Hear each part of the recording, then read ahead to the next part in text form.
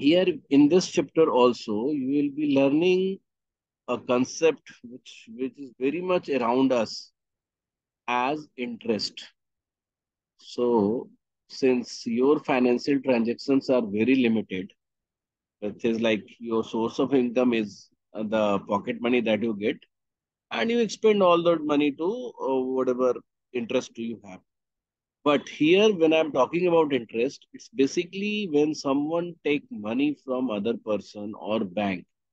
So let's say A took 100 rupees from B, from B and said, yeah, I'll return the money after an year. If A said, I'll return the money and after an year. But B knows that after an year, the money, the value of this 100 rupees will not be same. And why B will give that money to A if there is no interest for B? So B asks for an interest. B asks for an interest that, okay, take my money, which is 100 rupees, but return 10 rupees extra with that 100 rupees. So this 10 rupees is called interest. Okay. So if it is 100 rupees only, then 10 rupees is the 10% of 100. So in similar way, if A is taking 2000 rupees, so we call the amount that has been uh, lent by B or taken by A, we'll call it principal. This amount will call uh, principal amount. And the money that it will give uh, at the end of an year after the interest, after adding the interest. So interest here would be 200 because 10% was the rate of interest. So how do we write it? 10 PCPA, 10% per annum or 10% per annum. Okay, we can write interest in this way. So we call it interest rate. So the name of this thing is interest rate. And once I'll calculate the interest because rate is always given on the 100 basis. So once after we calculate the interest, which is 200 here, and the total amount that A will return after one year will be 200, 2200. And it will be called amount. Okay. So now you know what is principal. Now you know what is interest. Now you also know what is amount. Now the problem here is, and not the problem, the situation here is that A took 2000 rupees, which was principal. After one year, you know, this line says after an year, after one year, the interest became 200 which is 10% per annum that you know. And total amount became 2200 only. Now, A is not willing to return this money right now. He says, let me keep it for next year also. I mean, let me keep it for one more year. So in that year, now B will have two things. B can says, okay, so you have my 2000 rupees as a principal. You just give me 200 every year, like 10% every year. So next year, he will also, uh, the, the, the interest will also become 200, again, the 10% of 2000. And this will be the interest of the second year. And the total amount that A has to return will be 24 year and 2400. But what happens, this is what we actually read and say, and it is called simple interest. It is called simple interest. So before uh, knowing simple interest in detail, let me tell you about the compound interest also. Although we'll not be teaching compound interest, I'll be not be teaching compound interest right now. Uh, but I'll explain or I'll try to define what compound interest is. So now the situation is after an year, the total amount that A has which he needs to, which he was expected to return to B was 2200.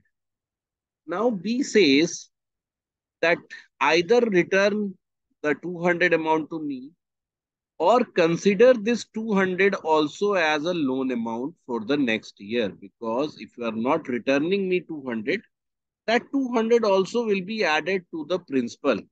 So now after second year a will have to pay 10% of interest of entire 2200 also. Because 2000 was the loan amount and 200 which he could not return a year before. So the 10% of 2200 is 220.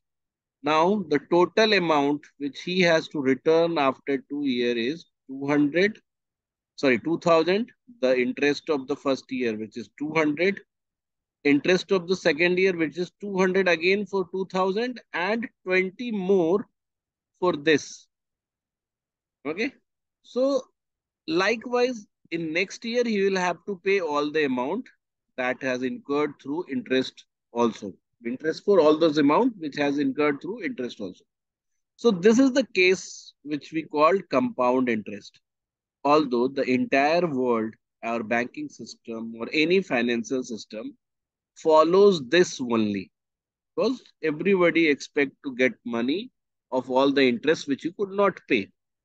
But in our textbook or wherever we'll be studying or whatever question we will do, if it is not specifically written that the rate of interest or the interest rate is compounded and a compound interest, you will consider it, if it is not written, if we'll consider all the interest as simple interest where there is no interest on interest. That means the, the 10% per annum interest rate which was there, you have to pay this percentage for the principal amount only every year. Is it okay for everyone? Now? Yes. Tell me. So now in uh, in this, uh, uh, matlab, uh, like it's for simple interest, the interest that you could not pay year by year, there will be no interest on that interest. The only interest that we will be giving every year will be on the principal. Is it okay for everyone? Prerna, you were asking something? No, so I was saying yes. Okay. So any anyone who has any problem with this concept right now, till now? No, sir.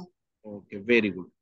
So now first I will go, uh, uh, I'll try to just derive the formula that you have all uh, learned before, which is if there is a principal P and rate of interest R percent, and you have to return money after T time, T years time, and R percent per annum, and T is written in year. So now you know the interest amount will be, the I will be the R percent of P, which is P into R by 100, which you all know. And, and the interest, which is there for 1%, it will get multiplied by time for all the years with whatever time it has been put for the loan. So like in the previous case, if the principal was 2000, rate of interest by 10% per annum, and if let's say the, the time to return was three years. So the total interest he has to pay is 2000 into 10 by 100, which is interest for one year. And it will get multiplied by 3 to make it the interest for three years. So this formula you have learned always in your school, PRT by 100. This is our my interest. And when someone asks, what is the amount that I have to return? So you will just add I to this P. So this is the amount that you have to return. So this is for interest. This is for amount. This is very basic calculation that you can do. But the point is, you will sometimes the way that you have written here, no, no, the way, this way to solve or to find the interest will be little difficult for you. I'll give you an example. Before giving you that example, let me uh, let me show you a thing that if let's say if anything is principal, like P is the principal, and rate of interest is five year. So you know, in first year, in first year you will be giving five year of interest, five year of five percent of P. Second year you you will be giving five percent of P only. Third year you will be giving five percent of P only. So after third year, the total interest will be 15% because percentage has additive property and all these 5% has the same base, which was P because interest is not being added. So the total interest is 15%. So the point here is we can add the percentage and then finally calculate what will be the percent value. So if 4 1 by 3 percent per annum, if this is the interest rate, so after three year, after three year, he has to pay the total interest as 4 1 by 3 plus 4 1 by 3 plus 4 1 by 3 total percent would be 13%. So what do you see here is like if the principal is given here 800, if 800 was the principal and someone asked that what is the interest that you have to pay after three years with this rate of interest. So rather than doing by this way that the interest that you have to pay is 800 into 4 1 by 3 divided by 100 into 3. Rather than doing the calculation this way, what I did, I added the all the percentage for three years and then I can directly calculate the 13% of 8, which is 13 into 8 only. You know, uh, which what will be 104. I can just say that 104 is the interest that you have to pay. So here to find 104, you will have to calculate or solve entire this. But here you just need to add this and find the final percentage value that what will be the interest. Is it okay? So sometimes it becomes very easy when you just add the percentage for uh, required number of times as per the time. But sometimes I'll, I'll give you a situation here. Let's say 800 is the principal. Rate of interest is uh, like uh, 6% per annum.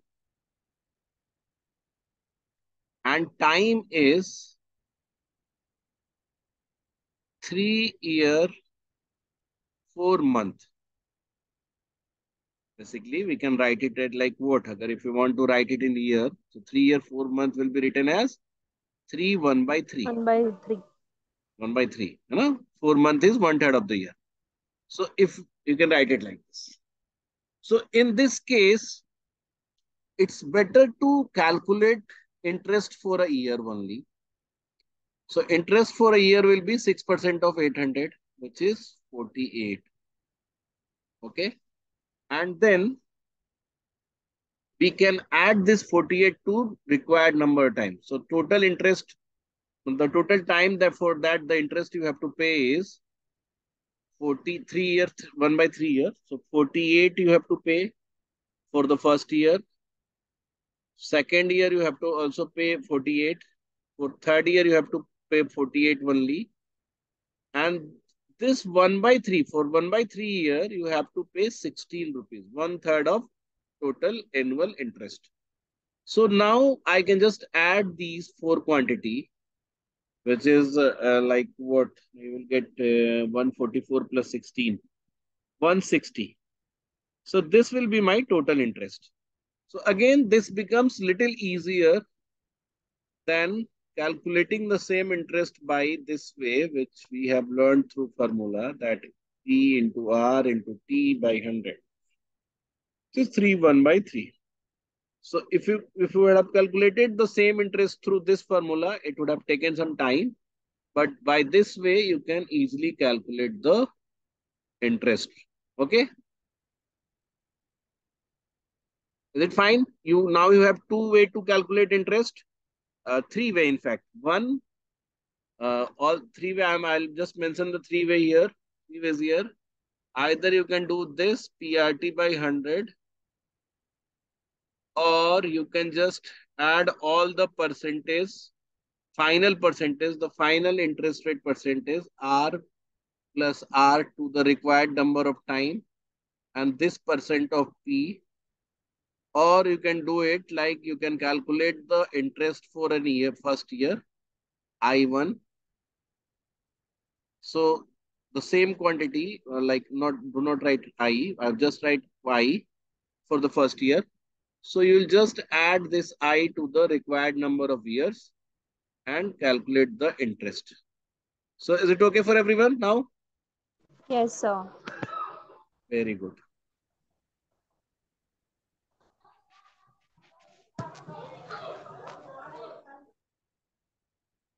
Okay. So now you also know if the time is not in complete uh, year, you just need to find out what fraction of year is that time. So for eight month, for eight month, so for eight month, what uh, interest you will be paying uh, or you will be giving? Two third of an year. Eight month is two third of a year. Sometimes they will give you a, a date like some March to some May. This kind of date will be given. And if you count the number of date, you will be getting either 73 or in some case 146 like this. So 173, sorry, 73 days or 170, uh, 146 days so 73 days, you can write it as like 1 by 5th of an year. Is it okay? So that's uh, similarly 146 is what? 2 by 5th of an year. So in order to calculate the number of year, we can just use the fractional way and other part way to represent the time. So if it is six month, it is half year is three months, that is one fourth year. है ना three months कितना होगा one fourth of the year nine months कितना साल होगा how much year it will be Three fourth. three fourth of the year okay so this is how we calculate the time if it is not written in complete integer years now let's go to the uh, next uh, thing here. Sir, Yes. so ये days का um, 366 और 365 लेके करना है ना leap year consider नहीं नहीं वो you don't have to uh, मतलब like uh, go in that detail because one day will not matter a lot. So you can just Okay. visualize through the months ki it is talking about this month to this month. It, it will must but because they will not give you like 80 days or 90 days. You know? So in general, they will give you the complete fractional part of the year, which is 1 by 5 or 2 by 5. Okay. Now, so after doing this,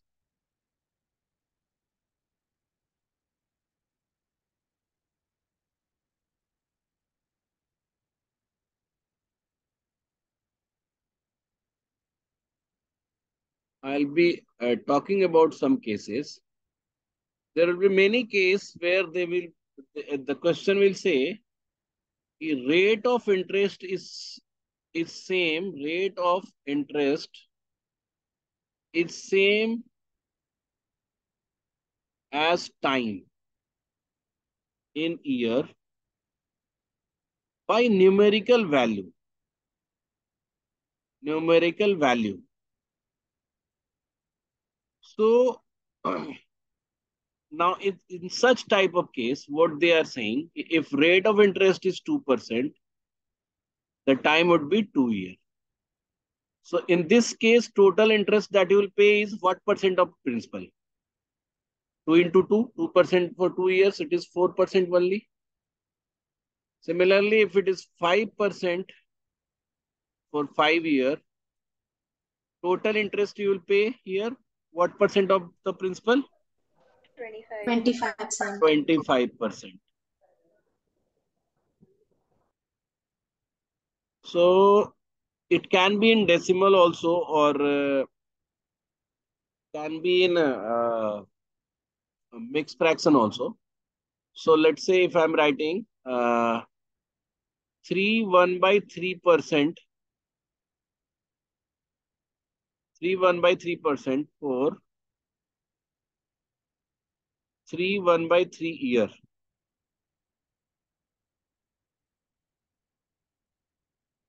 Three one by three percent uh, three one by three year. So what percent of interest that you will have to pay? So you'll multiply three one by three. It becomes ten by three into ten by three, which is hundred by nine. And hundred by nine is what?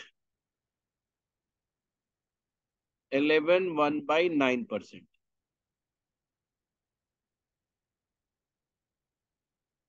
11 1 by 9%. Or they can also say in decimals 7.5% for 7.5 year. So the total interest that the person will pay will 7.5 into 7.5. You know how to calculate it. If you have attended the uh, numbers lecture, we'll just write 25 here. And since 7 is there, so we'll uh, multiply 7 into 8 it will be 56. And since point was there up before a uh, one digit, so it will become, uh, it, the point will be given here only. So 56.25% will be my final interest. So I'm writing it here, but they will never ask in direct way. They will ask you the same question in indirect way, where they will say in this way. Let me write you here a question. They will ask you, there was a principal which was 1200 and a person paid 300 as interest. 300 as interest. The condition was the rate of interest was equal to the rate of interest was equal to time in year and of course numerical value only these are two type of data they cannot be equal so the numerical value is equal. So in this case we will directly try to see how much interest he is paying total interest. So the total interest here is 25 percent. The total interest here is 25 percent. And it is possible when, and if you can also square root it, it is possible when 5 into 5 is being multiplied in only this case. So 5% will be your rate of interest and 5 year will be uh, your time. So they can ask, they will ask you in reverse way, they will give you an amount, they will also give you an interest. And if you are, if you can get the interest, if the interest is 25%, the answer will be 5 only. Is it okay? Yes, sir. Very good. Next हाँ. क्या explain करें बताओ। इसमें क्या था कि the principal was twelve hundred interest three hundred पहले ही बता दिया कि इतना पे किया गया। But the condition was the rate of interest was equal to the number of year by for which the money was given so I try to check what is the total percentage of interest we had to pay which was 25%. 300 is 300 is one fourth of principal. That means 25% interest you have paid. And in this example, we have already explained that 25, you will get 25 only if 5 into 5 is there. So you can just square root it like root under 25. You can calculate root under 25. It is 5. So it automatically says that 5% will be the rate of interest and 5 year will be the time. Is it okay now, Erika? Yes, sir, understood. So now uh, let's go for a very uh, so only one thing I'll be not uh, I, will not be explaining today will be installments. But there is one thing which is very important to know here is one thing which is very important to know here is that if you return anything, you can just write it here. If you can, if you return anything in between, if you return, like the person who have taken the loan is returning any quantity, anything in between, in between, it always goes, it goes from principal. So let me give an example here.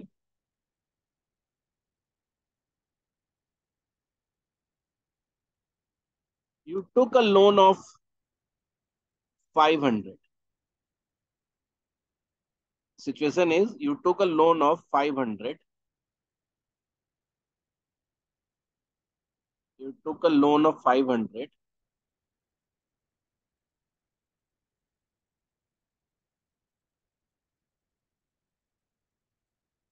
which is the principal. Rate of interest is 20% per annum. And condition is, मान A, I'm writing not you. A took a uh, loan of uh, 500. Rate of interest was 20%. And he returned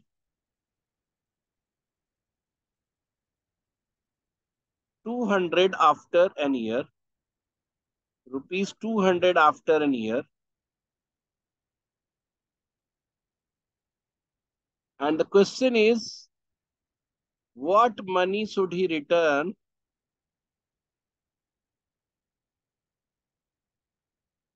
what money should he return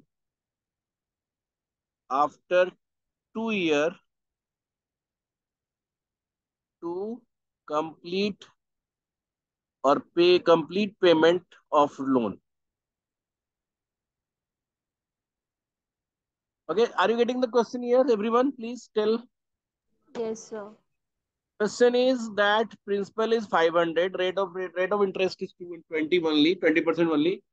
But he returned 200 rupees and after an year, after second year, after two years, what amount he has to pay to finish the loan. So I'll just go uh, like year by year. So the principal is 500. After an year, this line shows after an year, the interest accumulated. After an year, the interest and amount accumulated is 500 plus 100. Is it okay for everyone? After an year, 20% of 500, 100 will be there and 500 is the principal. This is the total amount accumulated after an year. Okay?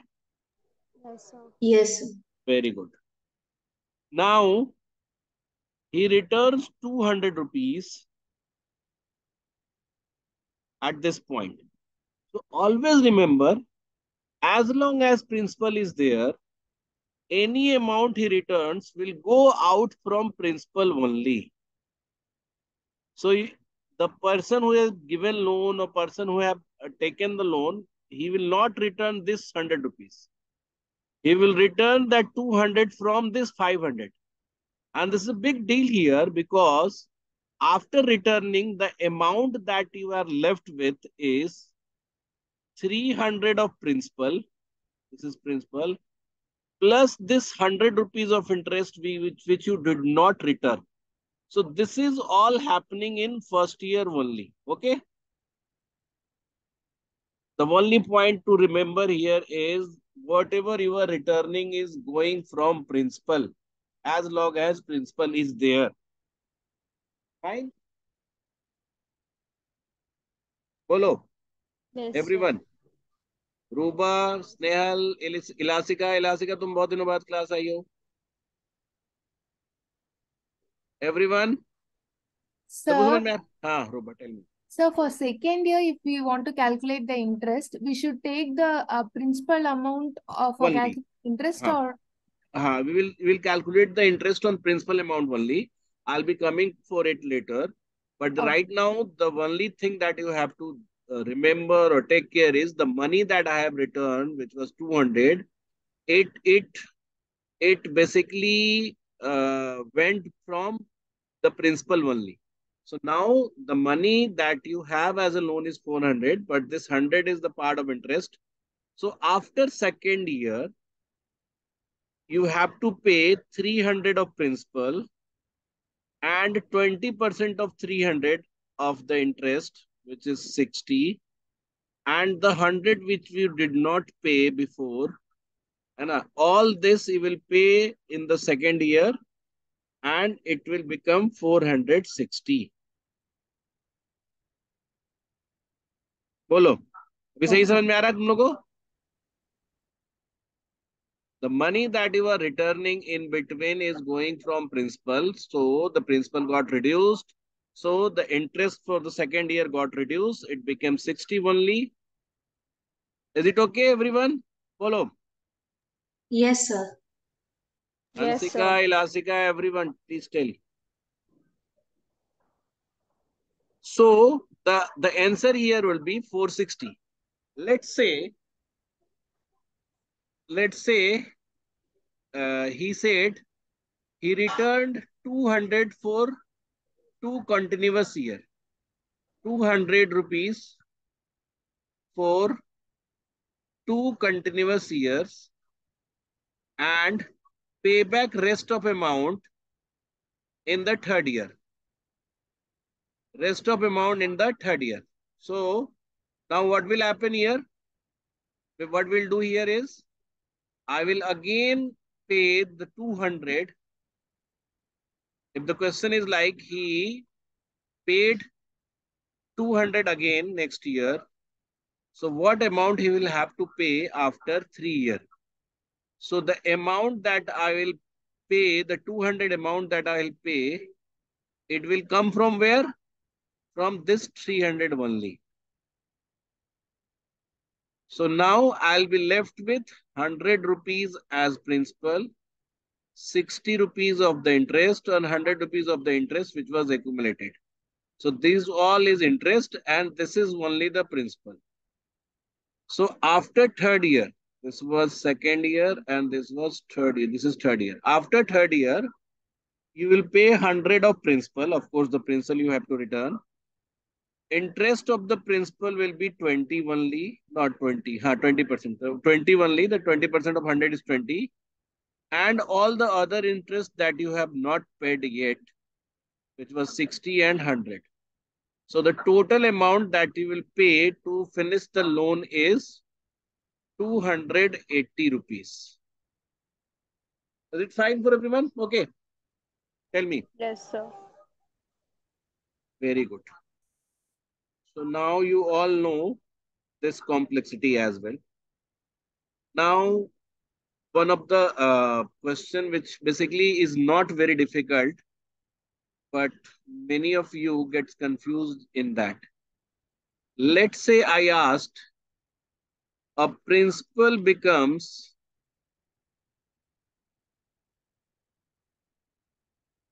becomes triple of itself. Triple of itself. Yeah, three times of itself. In 10 years.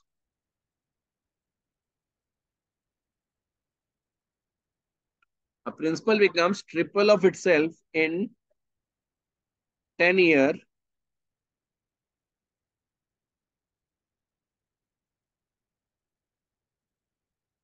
with simple interest. Of course, uh, you don't have to write simple interest. If you're not saying any simple or complex word, compounded word, you'll be uh, considering it simple interest only.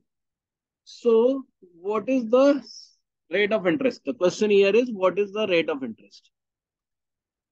So, now tell me, if something becomes three times of itself, if P becomes three times of itself, the amount becomes 3p.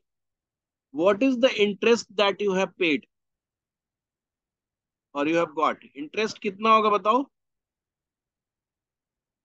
If p becomes 3p, the interest is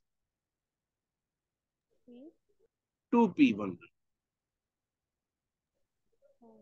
If TP becomes 3p, that means the added amount the extra amount that you have got is 2p. That's why it become 3p. So if a money got tripled, the interest is 200%. 2p matlab 200%. And now you know that 200% became, it, it, the interest we got 200% in 10 year. So I'll divide it from 10 year. So the total number of year I'm getting is what? 20 year sorry, total number of total interest is 20%. The interest is 20%. Similarly, the catch thing is if interest, if the money got five times, if the money got five times of itself, how much interest did you get? 4p. Yes, that is 400. The total interest is 400%.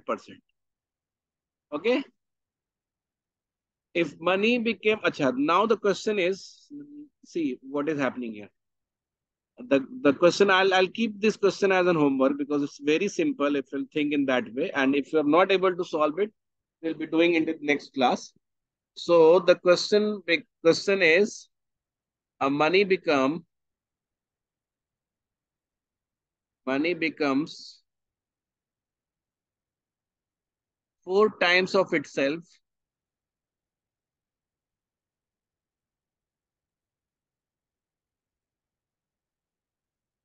itself in 12 years So in how much time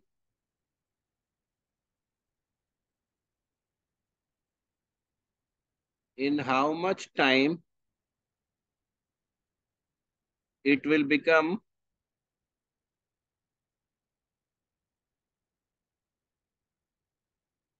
eight times of itself.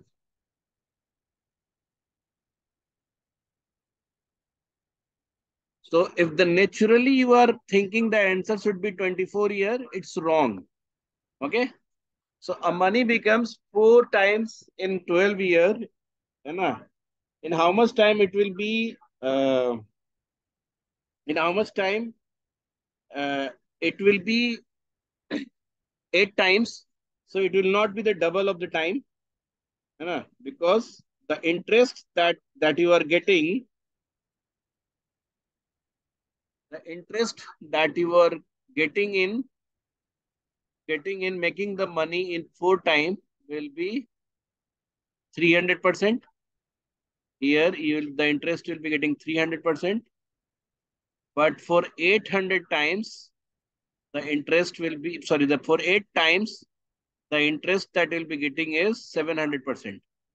My pen is not writing here for for making the money eight times of itself the total interest you need to get is 700% so for 300% it is 12 years. So for 700% it will not be 24 years. Now how to find answer? I'm leaving it to you. You can just think and find the answer okay? And then we'll be meeting in next class for compound interest or i'll uh, have a class for problem solving also for simple interest before going for compound interest. Is it okay? Yes, sir.